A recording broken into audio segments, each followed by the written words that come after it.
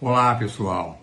A medicina reprodutiva é uma medicina dos detalhes. Tudo é importante, desde a pesquisa mais simples até as mais complexas. E os tratamentos devem ser elaborados de maneira individualizada.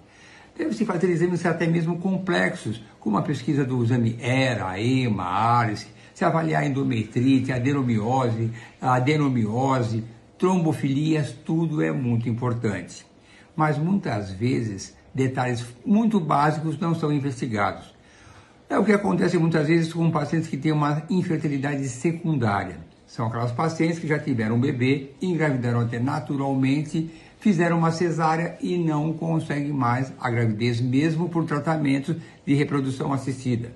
Mesmo após exames complexos, não se acha uma causa e ela não consegue engravidar. Mas esquece de avaliar a cicatriz da cesárea anterior onde pode se formar a istimocele. Istimocele é quando a cicatriz da cesárea anterior se abre, acumula muco, e esse muco pode refluir para o interior do útero e atrapalhar a implantação dos embriões. É muito simples avaliar isso. Por um ultrassom simples no consultório, numa primeira consulta, pode-se detectar essa estimocele.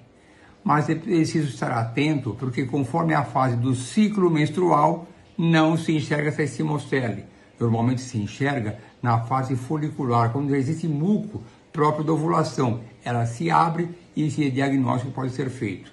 E o tratamento é cirúrgico.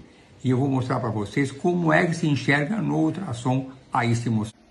Essa aqui é a imagem de um ultrassom normal. Vocês podem observar aqui a musculatura uterina, o miométrio, aqui o endométrio, que é o lugar onde o bebê se implanta. A cicatriz da cesárea normalmente é nessa região, na região ísmica. Portanto, esse útero é um útero totalmente íntegro. Na istimocele, vejam que tem uma abertura. Aqui a cicatriz da cesárea tem essa abertura que chama-se istimocele. É aqui que se acumula o muco, que pode acontecer ele refluir para o interior da cavidade endometrial. Vocês podem observar aqui o acúmulo de líquido, de muco, dentro da cavidade endometrial e pode atrapalhar a implantação do embrião.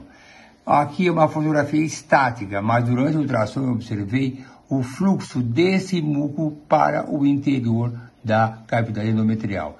E a intervenção cirúrgica se faz se reaproximando essa abertura, que pode ser feita por via laparoscópica aqui por cima, pode se fazer uma pequena abertura pela bexiga e fazer a cintura, e até mesmo pela histeroscopia pode se aplenar essa região e acabar com essa istimocele.